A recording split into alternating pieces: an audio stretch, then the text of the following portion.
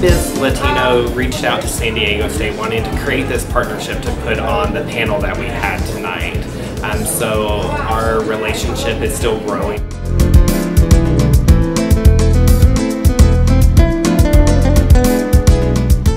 Think there's a lot of synergy in what the Chamber focuses on and what we here at San Diego State Career Services focus on. So I'm hoping to build upon this relationship and create more opportunities for Chamber members to engage with the students here at San Diego State.